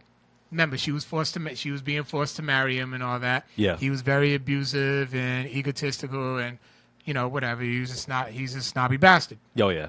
Yep. So, and she was she was depressed when she attempted suicide. So Jack was a Jack represented Rose's inner strength, and his presence allowed her to fly as she was on the ship's bow. And remember that there's no trace of Jack whatsoever. Hmm. Well, like, like his remains, or No, there's no record of there was no record of him. You've seen the movie, I've seen the well, well, he was he was because he was a stowaway. Yeah. yeah, he- but they still had they still had um like he was marked in though. What, really? like there there had to been some type of record of uh, of him being a passenger on it. But then I but then again, as I mentioned on the show before, there's a story where I had a um I had a relative on the Titanic, my grandfather's aunt, I believe. mm-hmm. And there's really no record of her being there. She was um a maid for one of the rich families and she ended up dying on the ship. But um yeah, there's really no records of her like being on the ship. We're ha- we're really having like a hard time finding like information on her. Oh wow. But um Yeah. so, I mean it could have been possible that he was real. It's just that there was just no record. Because remember, he was pretty much a hobo, just traveling. Mm-hmm. Yeah, I mean, I, I, I- think I, I don't think that that theory quite holds holds up because like because obviously other people did see him like Right. like Cal like his his, his mom yeah, that's what I, him, that's yeah. what I was guessing too. But maybe just the whole thing was just the whole situation itself was just an ima- just a figment of um, Rose's imagination. Yeah, but I, I I I don't see the sense in that because like given like all that she went through and on the ship and um you know her her budding romance with Jack. Yeah. I mean, so like if, if it was if it was imagined, do you mean that tell me that she was basically finger banging herself in the car? Possibly. I mean, I mean, I mean, uh, uh, basically, and, and, oh, and and here's some, and here's something that actually pulls a, pulls a hole in your theory, though. Remember, the drawing, the drawing of herself nude, nude on the couch is It real. probably wasn't really her. No, it was her. Come on, if, if not her, then who? Her mom's? Probably somebody else. No. Somebody else that they found. The whole thing could have been.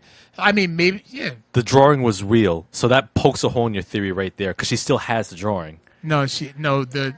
She No, no, didn't no. have the drawing. No, they, it- fou- they found it in the remains. Yeah, right. It was in the, it was in a safe. Right. It was in a safe. So, yeah, yeah. It was. I mean, that, that that is that is a good point. Like, I don't know how a piece of paper would survive underneath all that water pressure. Exactly. Yeah, but the fact remains, it was still there. Yeah, so the picture was still there, but they.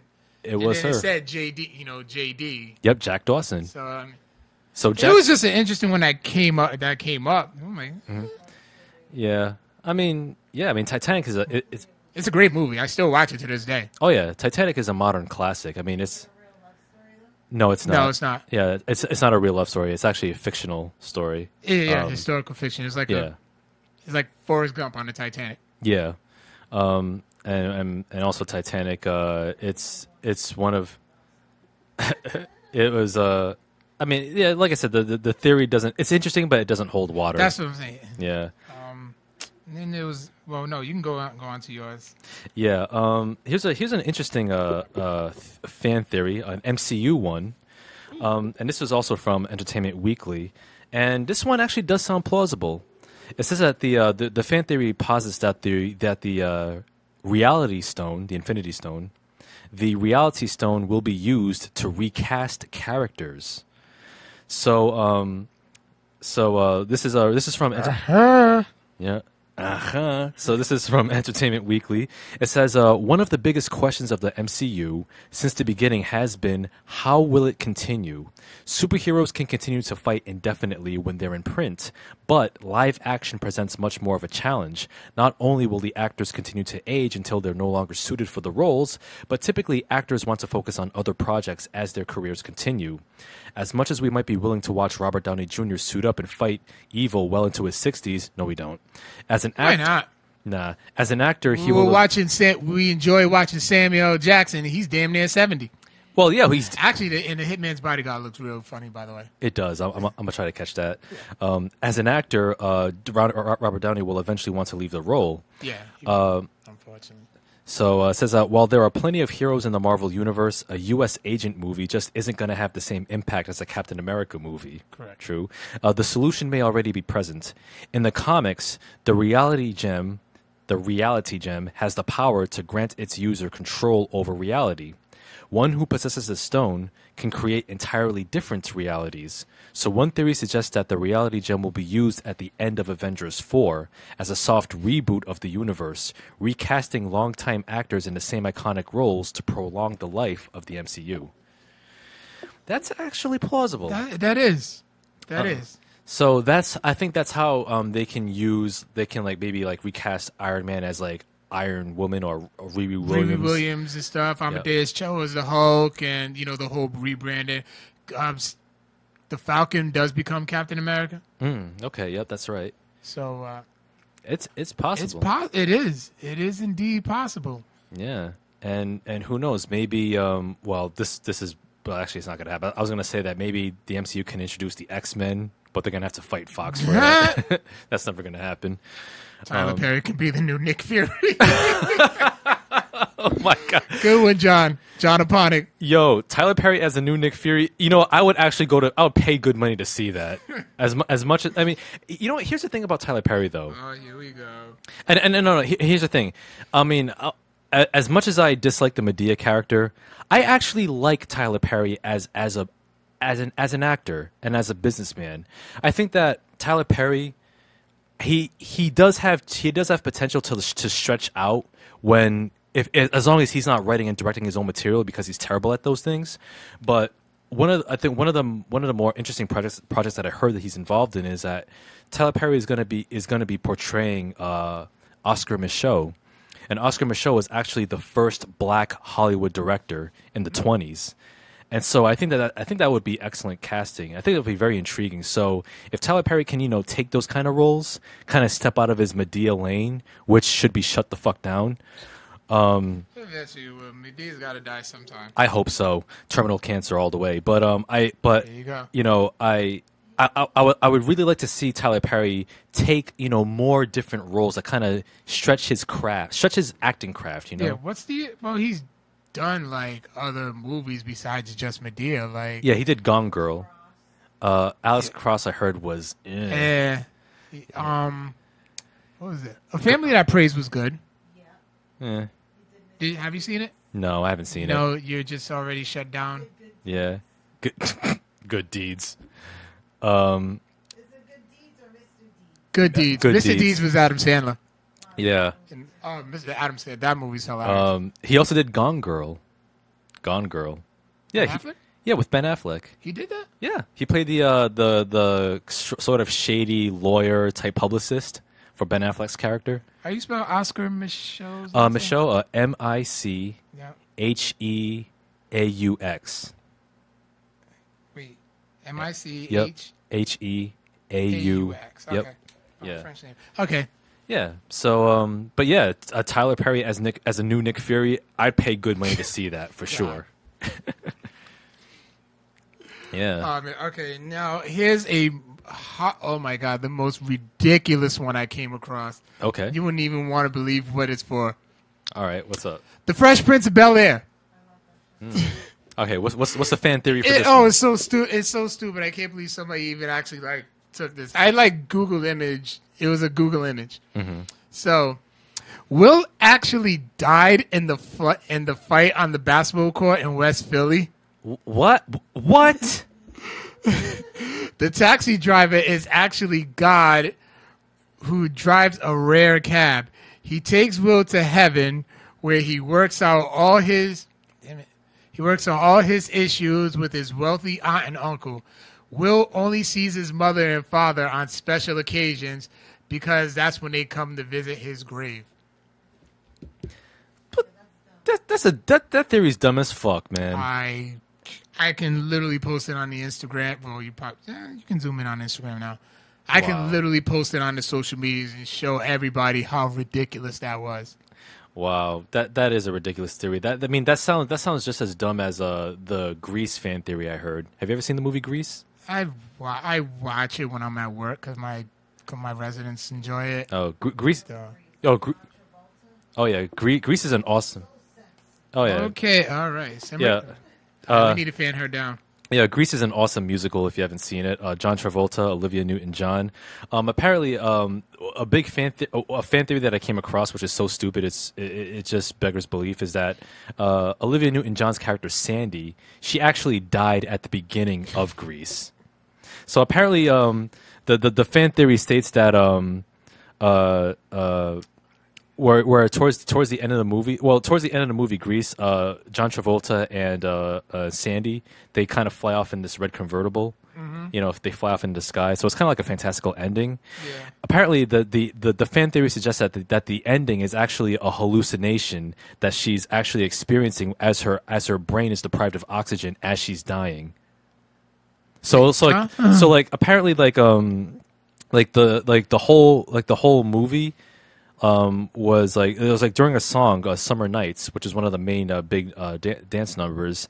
Um, basically, Danny, Danny, John, John Travolta's character, and Sandy, they, re- they recount how they first met, um, and they started a whole summer fling and all this, and um, and the line in the song that reads, "I saved her life, she nearly drowned." Suggests that Sandy actually did drown, and the whole movie is just a whole elaborate fantasy you know, which is like a, so, sort of like her hallucination on her way to the afterlife. She's imagining all these dance numbers.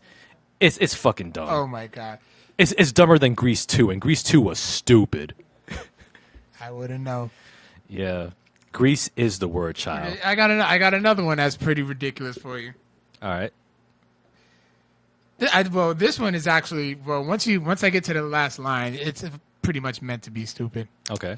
Peter Pan was an angel that held kids' hands when they were on their way to heaven, which was Neverland. Mm-hmm. That's why they never grew up. All those kids were dead. Boom, childhood ruined. What? That's that's dark as shit, man. I mean, I mean, come on, man. Uh, this is this. I remember posting that, and Angela, shout out to Angela. She was like, "No." No, no, no. I mean, yeah, she got mad at me for that one.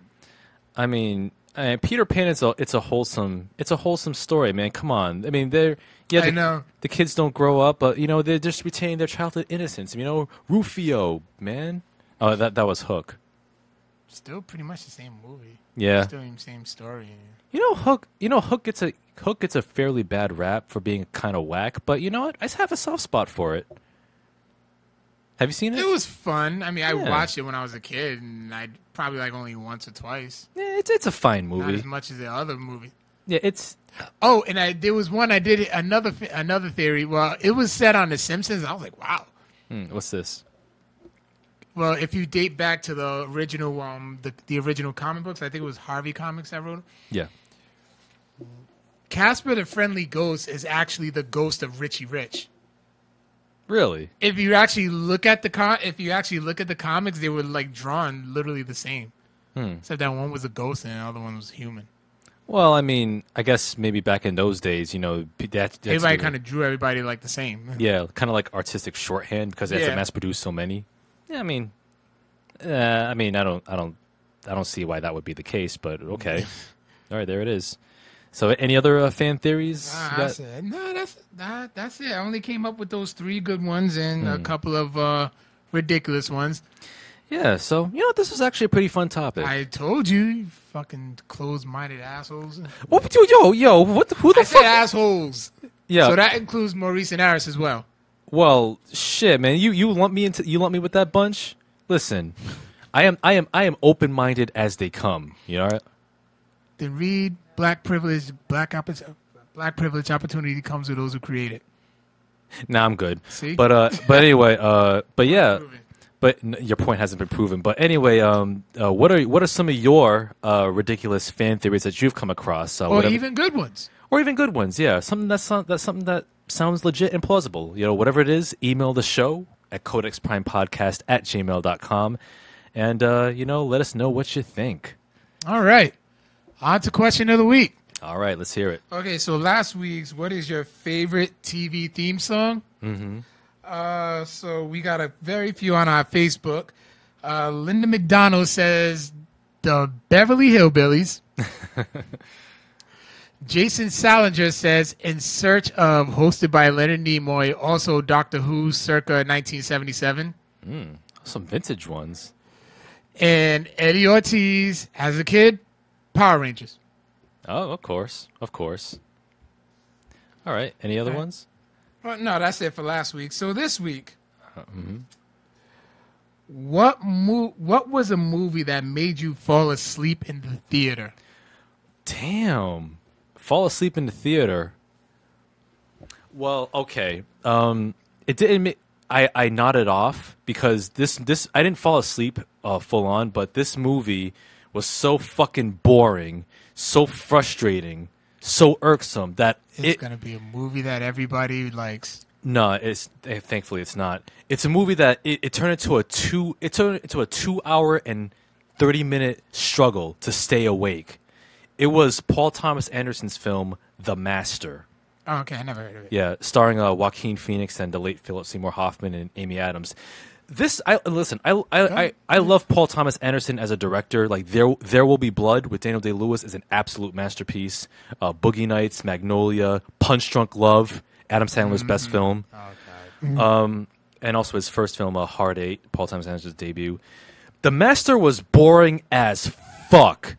Jesus Christ! You, th- this movie, this movie was supposed to be like a, a like a whole inspired by like Scientology. Like Paul, like like uh, Joaquin Phoenix plays this guy who huffs paint thinner and he chronically masturbates, and then he runs into um, Philip Seymour Hoffman's character, who's like this cult leader, who's who's who's like a, supposedly like this quasi um, uh, uh, riff of L. Ron Hubbard who was the founder of Scientology, and the whole and their whole religion is called the Cause, and the whole movie is like like it has a really interesting premise of like just how deep will Joaquin Phoenix's character fall into the cause, but the whole movie how it unfolds, man, it, it unfolds in such an in such a in such a shitty obtuse manner that it, it's a film that is, is is so in love with itself. It's so in love with itself that it doesn't it, it doesn't bother to, bother to be coherent.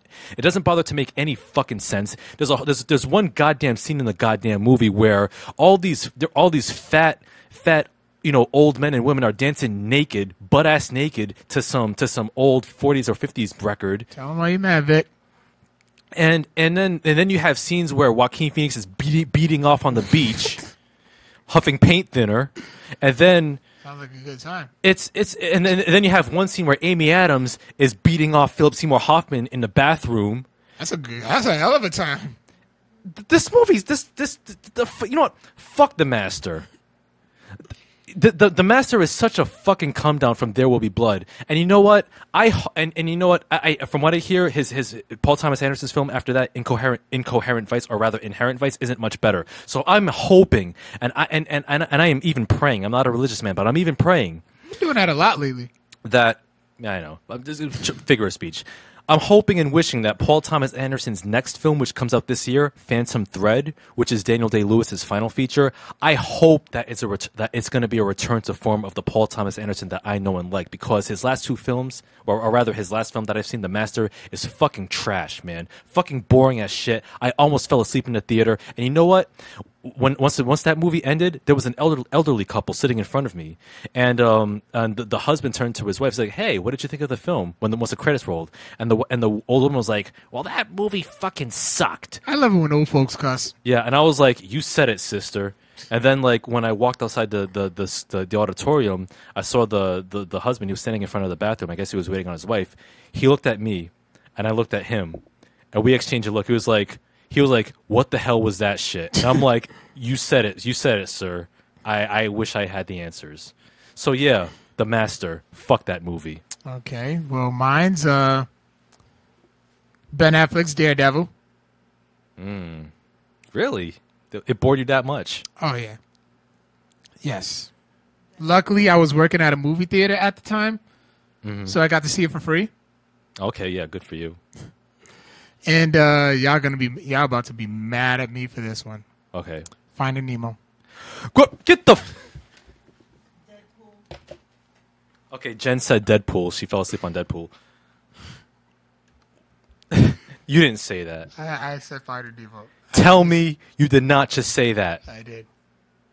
You fell asleep on motherfucking I Finding fell- I fell Nemo. asleep on Finding Nemo. Yo, get the fuck out of here. Listen, Finding Nemo is a Pixar masterpiece. It is a classic. That film, I just- that film is so I don't hate the movie. I just fell asleep on it when I went to go see it. Well, when I watched it. okay, so Wait, no, I didn't see that one in the theater, so I, that didn't count. Okay, but I so- did- but whenever I do, whenever I did watch it with like my little cousins or whatever, I would fall asleep on it. Okay, so you fell asleep It because was, you a were. na- it was a nap time movie. it's not a nap time movie. It's a For legit. them. It's a legit. on just so can. Yo, you, yo, you, yo, you need to sit your ass down and watch Finding Nemo because that movie is the shit. I eventually did. You watched the whole movie. Yes. What did you think of the movie? It was nice. Okay, good. Because I'm about to say, because if you said, if you sitting here talking about, oh, I fell asleep on Finding Nemo because I was so bored by it. Oh, no, I wasn't that bored, talking, I'm just saying. I remember falling asleep and finding Nemo. oh, talking fish. Who does that? Let me tell you something right now, man. It would, it would have, I grew up loving the Ninja Turtles. You think I would be pissed off with talking fish? yo, listen, man. it yo, I, I would, yo, it, it would have been a problem up in here, yo, son. No, it wouldn't. Real talk, man. Yo, you, you, you cannot dump on Finding Nemo, son. And Finding Dory, yo, that's what's up too. But Finding Nemo was a better film. Yeah, but you cried. I didn't cry at Finding You Dory. You said you cried at finding Dory. I teared up a little bit. I teared up just a little bit. was. I couldn't help it. Yo, Yes. there was a whole row of dudes. push-ups. There was a whole row of dudes behind me watching Finding Nemo. They were tearing up too. So yo, that movie hits you in the feels. Sure. I ain't soft, man. And it, well, well, our question of the week will be on our, Insta, in our on our Instagram and the rest of our social media, so you can hit us up and let us know. Let us know what movie did you go? Did you fall asleep at the movie theater? Yeah. All right. Yeah, so uh, let us know. Let us know how, how wrong Carl is at Codex Prime Podcast at gmail.com. Uh, where they can where can the good people find us? Everywhere. Everywhere. That's uh, SoundCloud, iTunes. YouTube, YouTube. Google Play, Yes. Facebook, Instagram, Twitter. Actually, Victor's gonna be Twitter. He's gonna be on Twitter like a motherfucker this weekend. Yes, uh, this weekend is SummerSlam weekend. So next Tuesday, we're going to be talking about breaking down SummerSlam and NXT Takeover Brooklyn 3. So I'm going to be live tweeting both shows. And uh, next week, we're going to be talking about uh, SummerSlam and NXT. Get some wrestling talking. Breaking that down. Yeah, man. So uh, yeah, so be sure to join us on join me on the on the live Twitter streams thingy. And catch me on the uh damn I already forgot the name of the on the Greo app where I'll be having some discussions about I don't know whatever comes to whatever comes to mind. I'll probably do that like at least once once or twice a week. Whatever pops up and I would like to hear what y'all think. So download the Greo app, iPhone users. Yeah, iPhone users because y'all think y'all better than us. No, you're not. But anyway, I uh, already got that app first. yeah, whatever. But you, uh, you guys had Jay Z's Magna Carta first. we did Yeah. for Android. Yeah. Uh, Samsung users. Oh wow. Okay. Well. All right. Well, I guess tit for tat. But uh, but yeah. Um, that's about it. Uh, thank you for tuning in on Facebook Live and uh, SoundCloud. If you're listening to us later, we will catch you on the flip next week. Peace out, nerds. Later.